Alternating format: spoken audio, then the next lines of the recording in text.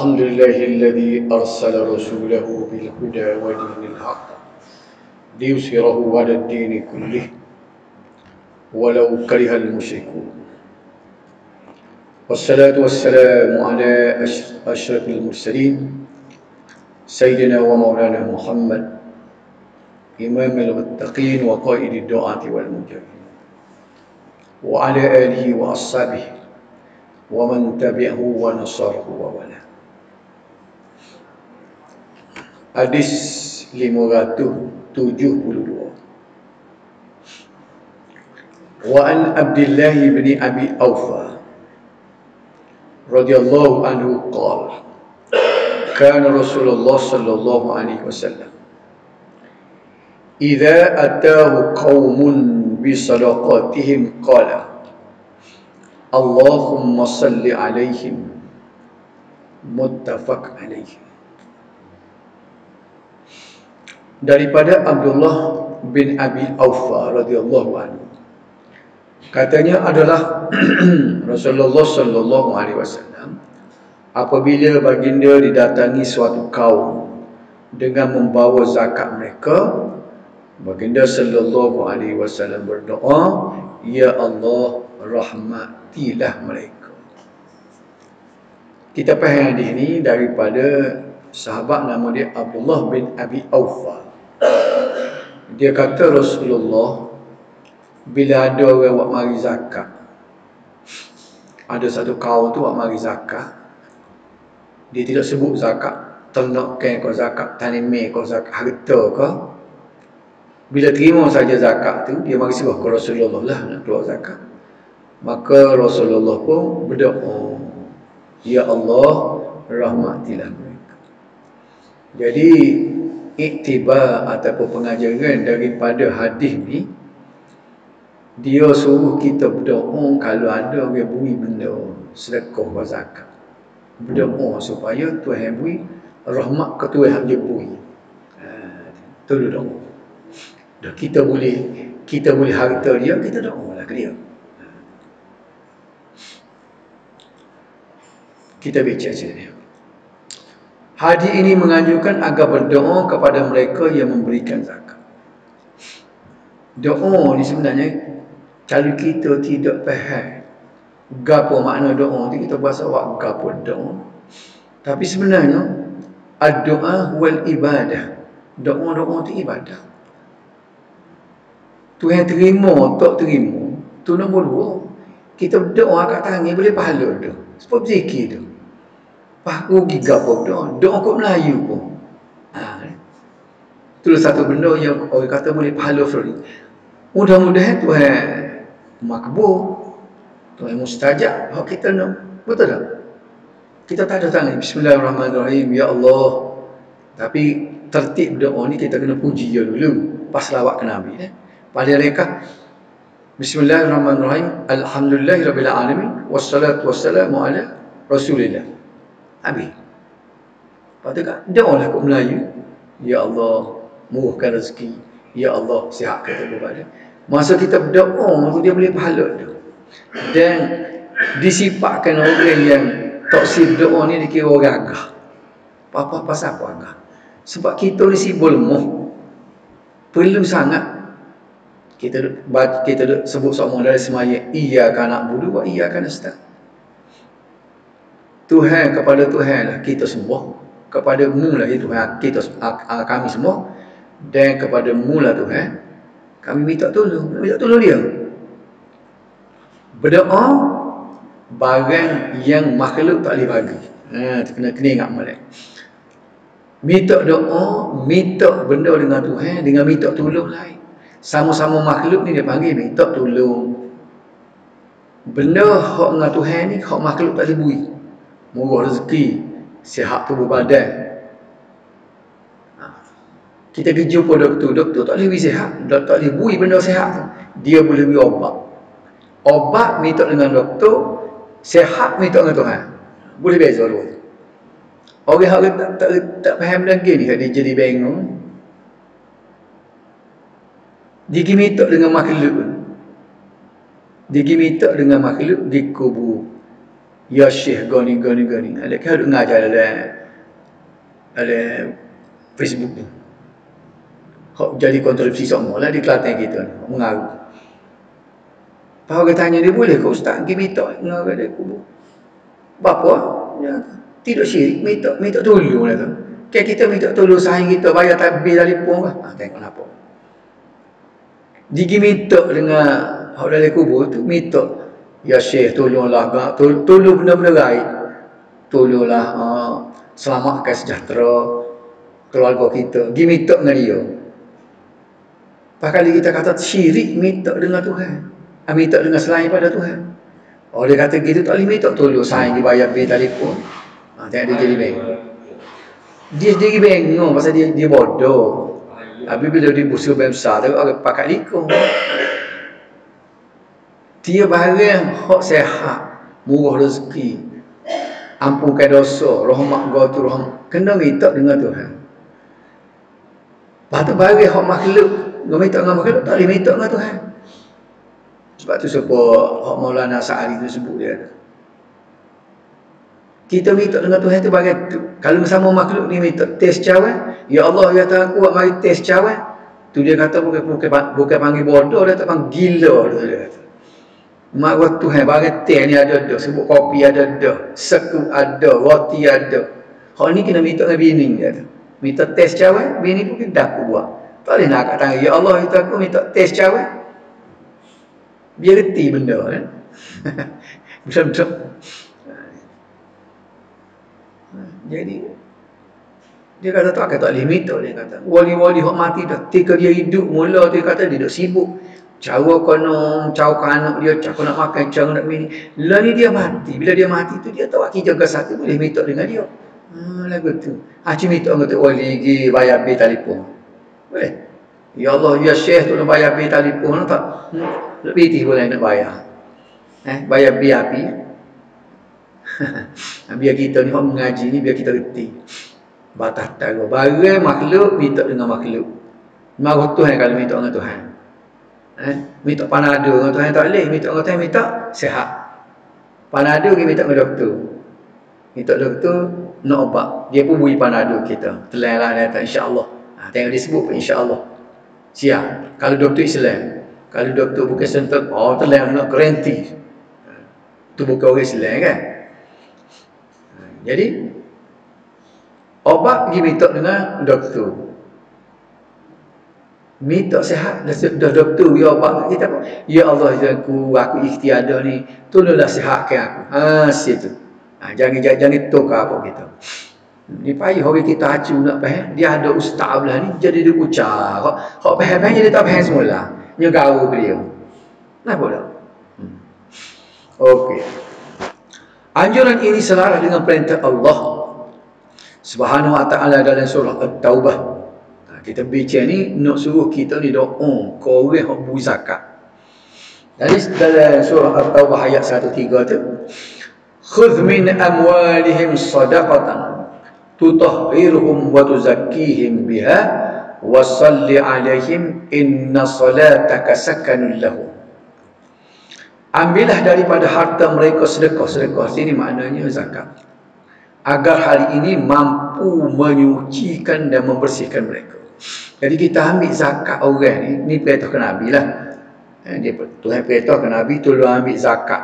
Orang ada tanim mi, minta zakat tanim mi. Orang ada ternak kan, minta zakat binatang dia tu lah. Orang ada harta, minta zakat harta. Tujuan apa minta zakat tu? Nak bersihkan dia. Bersih harta, bersih uh, diri dia. Kita dengar dah beberapa minggu lepas bersih harta ni takut-takut harta dia duduk main duduk campur dengan hak halal kata hak haram kita nak kita kita nak pasti ke segala hak masuk duit kita halal belakon tak ada orang berani dah. Walaupun kita makan gaji pun ada kesetimpah misalnya kita makan gaji dengan usaha kita buat betul tak? Tentulah ada. Ada kesilapan. Jadi bila dengar cara keluar zakat ni duit hak masuk tu capu hak halal dengan Ta'ala jadi cuci satu yang kedua dia cuci tu yang punya harta cuci apa? cuci sifat kedekut sifat bakri kenapa dia? dia orang panggil selampai dua mata baik Bila terima tu, dia kata, dalam ayat tadi dia kata, tolong berdoa untuk mereka. Sesungguhnya doa kamu boleh me menenangkan mereka. Kita kena doa ke dia. Jadi anjuran berdoa kepada mereka yang memberikan zakat adalah sebagai motivasi dan galakkan kepada mereka. Dia pun suka kita berdoa ke dia. Oh, amin selalu dia dah. Mudah-mudahan Tuhan makbulkan doa eh orang yang membaca kita. Selain itu doa juga boleh membawa ketenangan kepada mereka. Ini jaminan daripada Tuhan lah. Hal demikian kerana harta benda adalah antara perkara yang dicintai oleh manusia. Oleh itu menjadi kesukaran kepada mereka untuk mengeluarkan zakat. Harta ni tak ada orang yang tak sayang. Kaya cara kaya. Betul tak? Sayang. Tapi Tuhan ni dia nak dia nak dia nak uji kita. Sayang harta tapi belajar waktu bi infak dia panggil manusia ni kalau dia dengar harta ni semula jadi. Sebab apa? Tuhan suntik dalam diri kita ni jadi sayang harta. Hubbul man wal banina wal qanatiril muqantarah. Ada ayat dia kata. Wal qanatir muqantarah. Harta yang bertimbul-timbul tak ada orang toksik. Ada banyak, nak banyak lagi. Baik. Bila duduk tangi dia, tentu bahasa saya. Tapi saya, kok mana saya pun, kita ingat hukum, zakat kena waktu bik juga. Masa waktu bik dari keadaan saya tu, bila orang doa kita, Tuhan kata, di sini, ha, dari ayat tadi, dia sakanul lahum, kita boleh menenangkan dia. Hak dia sayang harta tu, dia jadi tenang bila kita doa. Ha, tu obat ya. Eh? So, siapa dia kata? Tuhan kata. Cuba tengok dalam ayat tadi. Mana tadi? Ha. Wasalli alaihim doalah kepada mereka inna salataka ada doa kamu tu sakanul lahum menenangkan dia. Ha dia. Okey. Apabila didoakan kepada mereka bila kita doa ke dia, kita nak tahu mana ni apa dia doa sangat. Allah Subhanahu Wa Taala menurunkan rahmat ke atas mereka dia boleh pahala dia, dia keluar zakat tu boleh pahala. Pahala zakat ni banyak daripada pahala sedekah. Sebab pahala sedekah ni sunat. Bila-bila boleh pahala tu Tuhan tu rahmat ke dia. Dengan doa yang kita doa ke dia. Memuji pula dia berada dalam kalangan mereka. Apa jadi gini ni? Dua kali. Maka tindak dua nak bagi sikit. Bapa dia bikin ni. Eh, dua kali kan? Hah, itu dia. Biasa. Maka sudah tentu sedikit sebanyak dapat menghilangkan keresahan dan kesedihan. Kerana pengorbanan mereka terhadap harta benda yang disayang. Kalau dia sayang harta dia. Dia ada sejuta, di waktu duit 25 ribu. Eh, tak sayang 25 ribu. Eh, kalau beli kereta RM25,000 sedap dah dah. Kereta second RM25,000 ni sedap dah bawa lagi boleh pergi Kuala Lumpur. Eh. Tiba-tiba dia kena waktu ambil RM25,000. Ketar tangi dia dah. Nak tahu waktu ambil wajib. Dosa dah kalau tahu waktu ambil. Ingat eh, orang ada sejuta RM25,000 ni. Ha, takut ada sasa pun dia ada sejuta. Eh. Dia? Wali ada sejuta.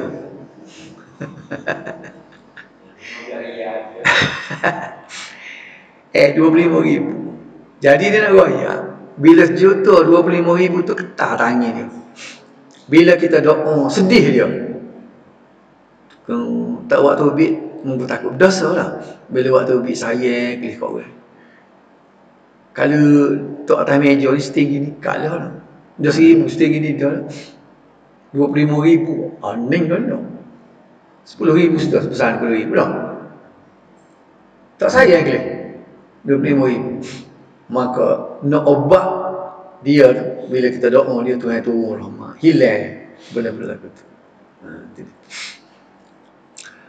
Hal ini menunjukkan kelebihan berdoa kepada Allah Subhanahu Wa Taala sekaligus menunjukkan kelebihan orang yang mengeluarkan zakat. Ha, ni, lebih kelebihan kita berdoa.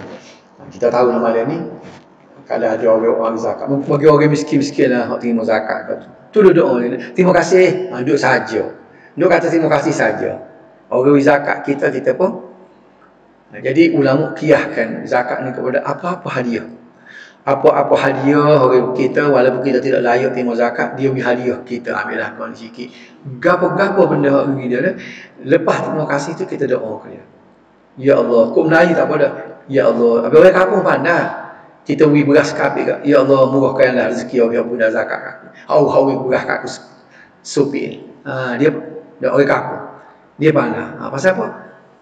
Doa kalau dia panggil. Tak pada yang terima kasih saja.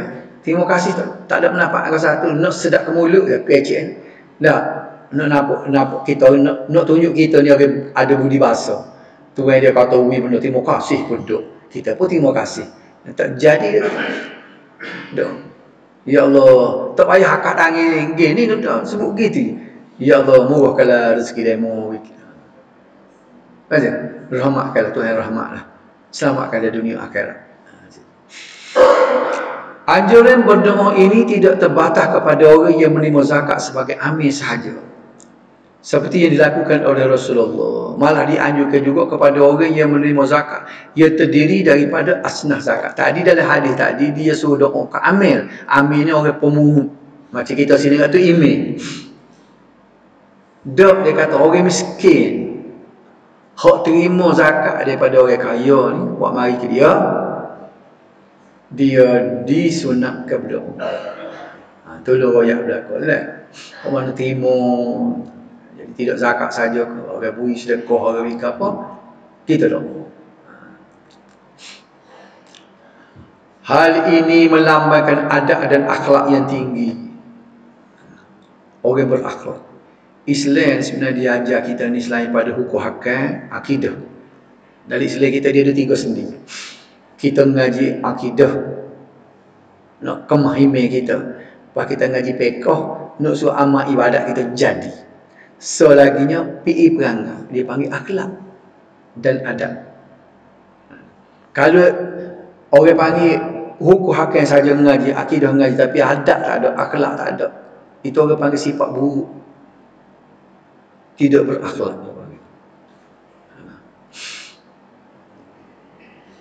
Sehingga Nabi sebut Ad-din husnul khuluk Ugama-ugama tu ialah perangai comel nak tengok orang ni beragama tengok perangai. Perangai comel. Perangai ju. Orang, orang Kelantan kita panggil ju. Jadi, dia kata, ucapan terima kasih, penghargaan, doa ke orang yang beri kita ni, tu menandakan kita ni ada akhlak molek, ada budi bahasa, ada adab. Ulama mengkiaskan hadis dengan apa-apa sahaja bentuk kebaikan.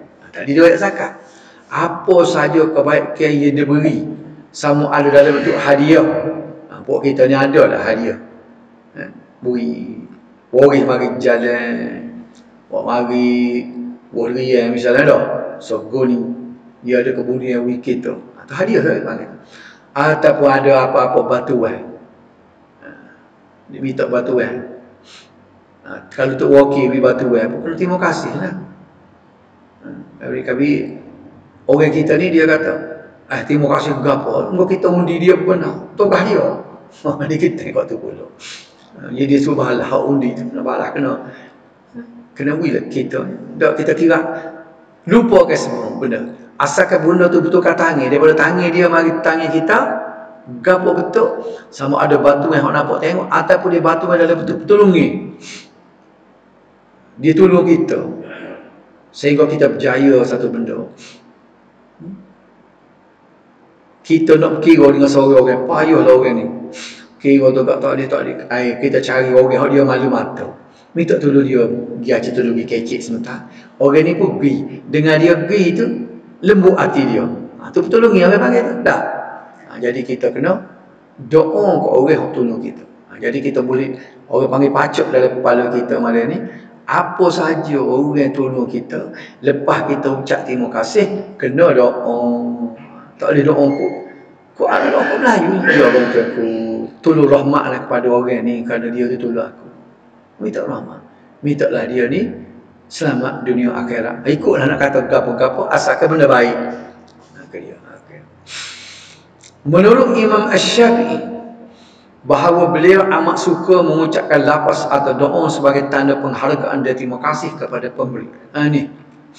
Imam mazhab kita, Imam Syafi'i kata, dia suruh sebut ni kalau boleh. Biar orang hojo hojo bui kita tu dengar. Nak meneng hati dia. Dia pun berasa dia berasa ada harga. Dia tak ada orang tak sik doa. Betul tak? Orang dah doa baik kita siapa dia tak si? Tak sedar orang lah kawan doa ke demo. Eh tak ada. Semua orang nak doa lah. Jadi bila dia bila kita kita sebut doa depan dia, Imam Syafi'i kata lapas. Lapas ni maknanya talafus biar dia dengar. Hmm, terima kasih ya Allah ya Tuhanku. Murahlah rezeki dia. Siapkanlah sejahtera dia hidup dia dunia dan akhirat. Kalau itu Rabbana atina fi dunia itulah. Ha, tapi kalau Rabbana atina tu minta kita. Ha, kita minta supaya dia ni selamat dunia dan akhirat. Ha, Apa-apa lapas atau ucapan yang diucapkan yang menggambarkan doa untuk kebaikan pemberi adalah diharuskan seperti ha, ni. Jazakallah khairal jazak. Kita kaji dengan kalau misalnya nak kita jawab dalam WhatsApp ke apa kan. Minta tolong kita okey terima kasih kita kata. Jazakallah khairal jaza kalau tak boleh tak jazakallah khaira boleh dah. Apa makna jazakallah? Semoga Tuhan balas kepada awak khaira kebaikan. Ni jaza jaza ni balas. Jaza ni bukan balas jaza ni makna, maknanya dia suka balas kata Melayu ni maknanya Tuhan kurniakan dia. Jazaka Tuhan Tuhan Tuhan balahkan ka kepadamu di Allah duduk belakang telah membalah akan kamu oleh Allah. Allah balah kamu, balah ke apa? Khaira kebaikan. Ha, kalau nak tambah khairal jazaa ni maknanya sebaik-baik pembalasan. Mana pembalasan yang setimpal. Mudah-mudahan Allah membalas kebaikan yang setimpal eh, kepada apa yang kamu berikan kepada aku. Ha, kata ini hafal suti. Oh, jazakallahu khairal jazaa. Ha? Kalau payah sangat jazakallahu khairan. Ha, boleh berhenti dengan khairan ada alif kalau tak ada jazak tu kena khairan. Jazakallahu khairan. Eh, boleh. Kena balik. Jazakallahu khaira. Kalau boleh panjang lagi tak apa. Jazakallahu khairal jaza.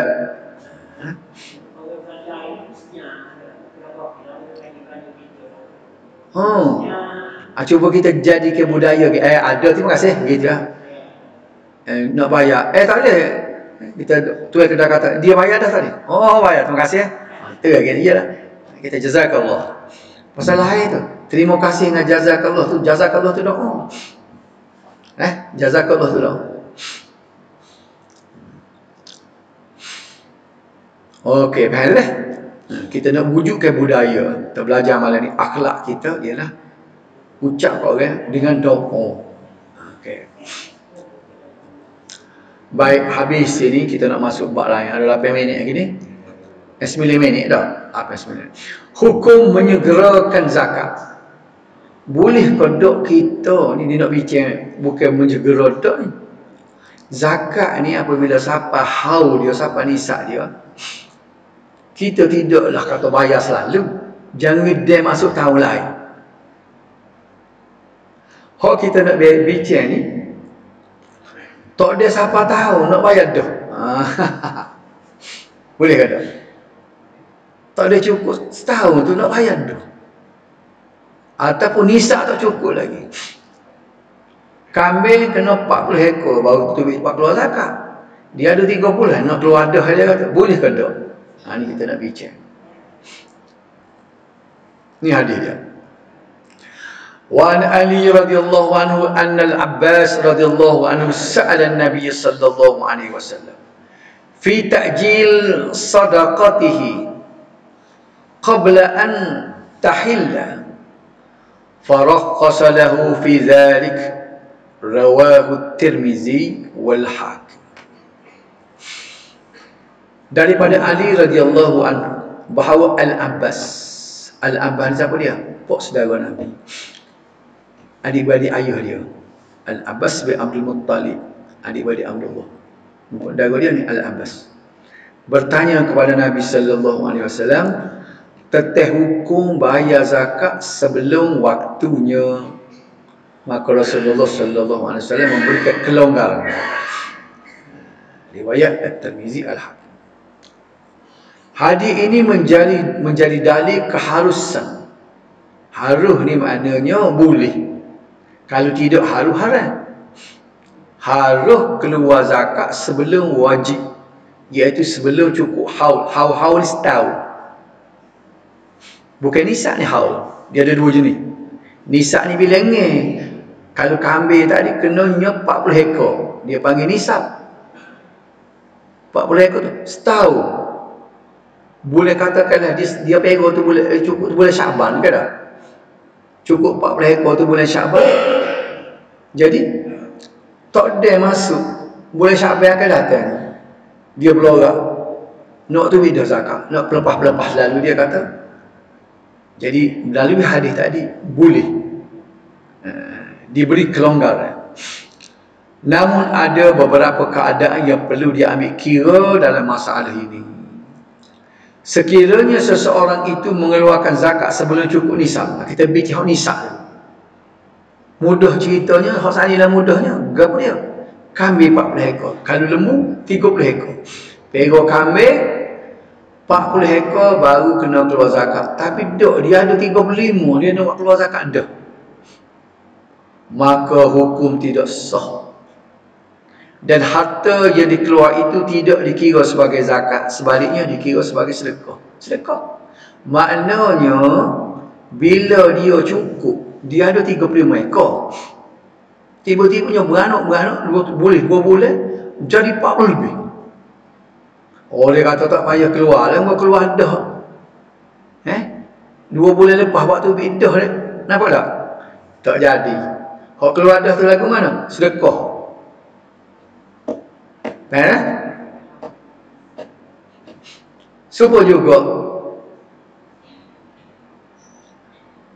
katakanlah zakat duit. Duit-duit ni payah nak bayar sebab dia naik turun semua setahun ke setahun. Kena tanya majlis semua. Siapa dia tahu? Kalau ni duit, duit, duit tersimpan berapa ribu keluar zakat. Tahu tak buat? Eh, berapa ribu? Berapa ribu? Katakanlah. Katakanlah 20 ribu. Tak tahu je. Eh, tak tahu. Majlis tak tahu majlis bayar berapa. Dia katakanlah 20 ribu. Katakanlah. Bukan sungguh ni. Katakanlah nisak dia 20 ribu. Artinya, orang tak sapa duit 20 ribu, terkumpul dalam masa setahun, dia pegang tu setahun tu duit, tak sapa 20 ribu, dia panggil tak cukup nisak. 18 ribu tak, orang tak panggil tak cukup nisak. Tidak wajib keluar zakat. 20 ribu baru kena keluar. Baik. Dia ada 18 ribu duit. Tak cukup nisan. Tapi duit nak mari lagi tu. Jenik kan. Moga dia ambil, ambil upah. Eh, ambil upah. Tukang rumah lah. Sipan, sipan, sipan. Eh kita nak berasanya. Dia, dia, dia, dia duduk berasanya. Dengan gaji boleh depan, dengan utang boleh depan, boleh tu. 20 ribu lebih dia boleh dah. Duduk sipan ada, ada 18 lah ni. Tiba-tiba kita waktu ambil zakat lalu dia kata dia pun cabut selalu dah.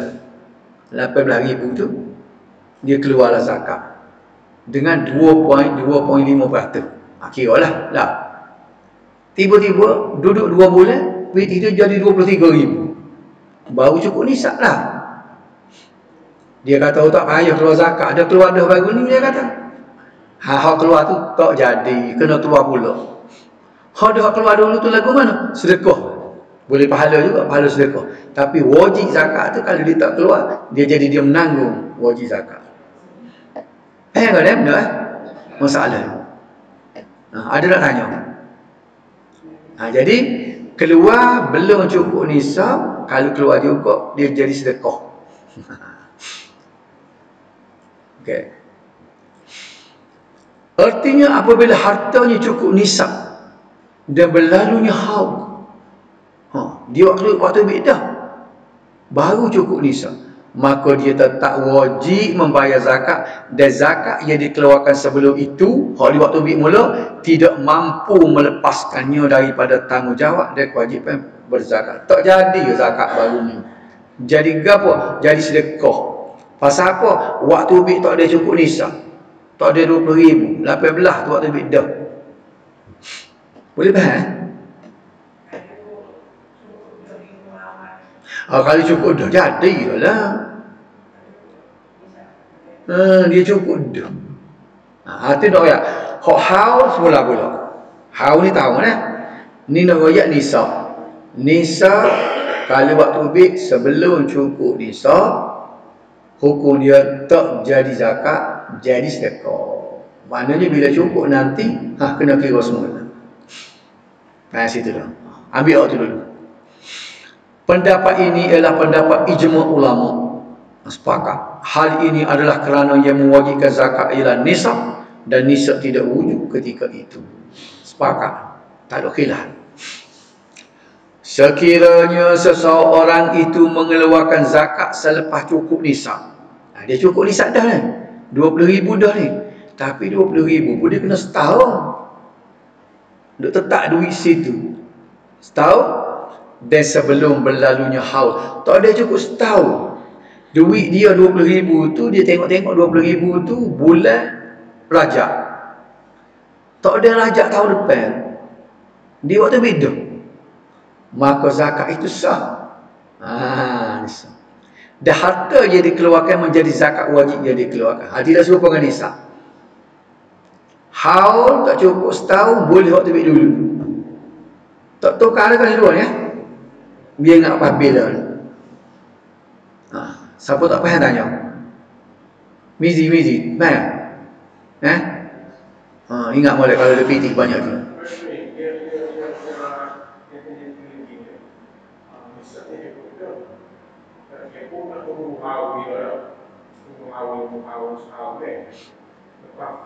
dalam masa setahun duit dia tu kata peningkatannya menjadi luar luar kedua jadi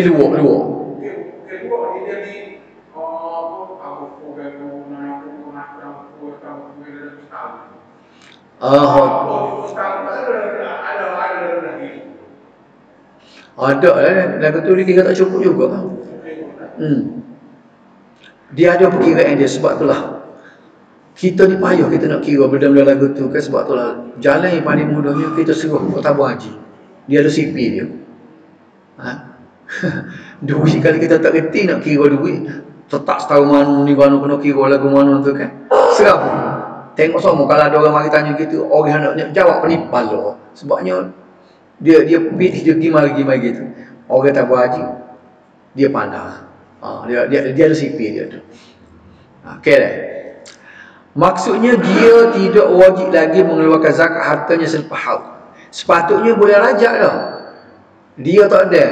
Ha? Rabi'kan jamalin akhir dia waktu beda. Ha? Masuk boleh rajak nanti tak payah dah. Kira jadi. Ha. Berdasarkan hadis ini juga ulama berpendapat bahawa keharusan mempercepatkan sebelum cukup haul merupakan suatu ruksah atau kelonggaran bukannya sunnah. Tapi dari segi sunnah, nak cari pahala yang ya, ya betul, kena nanti cukup haul. Ruksah ni maknanya kena ingat, ruksah-ruksah ni kelonggaran. Apa makna ruksah kelonggaran ni? Supaya semaya jamak kuasa orang panggil ruksah. Boleh tinggal puasa, boleh Ramadan kalau kita musafir dia panggil ruksah. Ruksah ni bukan benda boleh buat sama benda kelonggaran. Artinya kalau nak keluar zakat awal sebelum cukup haul dibolehkan atas dasar kelonggaran. Hak mualiknya nanti juga tahu. Ruksah ini juga tidak digalakkan, dilakukan kecuali apabila ada masalah. Seperti berlakunya kelaparan. Kitanya nak tubik zakat nanti boleh rajak. Tapi kapu kebetulannya Nya jadi bala bencana kapu kita. Dah. Kemarau agak. Ramai orang miskin. Eh, nak makan payah. Kita boleh waktu di awal. Zakat kita. Ha. itu dia ha, keperluan yang mendesak ha, oh, tak ada nak bincang